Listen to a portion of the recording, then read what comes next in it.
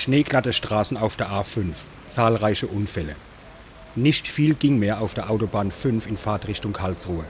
Zwischen der Anschlussstelle Waldorf-Wiesloch und der Tank- und Rastanlage Bruchsal haben sich auf schneeglatten Straßen gleich mehrere Unfälle ereignet.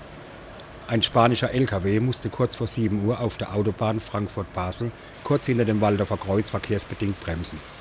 Dabei kam das Heck des Sattelzuges auf schneeglatter Fahrbahn ins Rutschen. Das nicht mehr lenkfähige Fahrzeug prallte an die rechte Leitplanke und kam mit dem Führerhaus in entgegengesetzte Richtung zum Stillstand. Der Auflieger blockierte den Seitenstreifen und zwei Richtungsfahrbahnen. An der Unfallstelle liefen ca. 200 Liter Diesel aus, die von der Feuerwehr gebunden werden mussten. Die Autobahn war für die Dauer der Bergung und Räumung der Fahrbahn für ca. 45 Minuten voll gesperrt.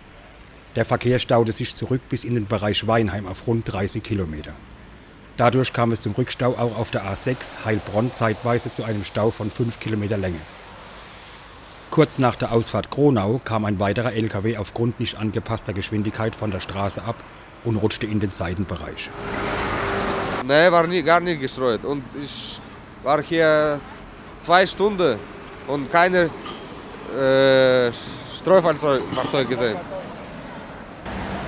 Im weiteren Verlauf der A5 haben sich noch mehrere Unfälle ereignet. Auch der Kameramann wurde unverschuldet in einen Unfall verwickelt.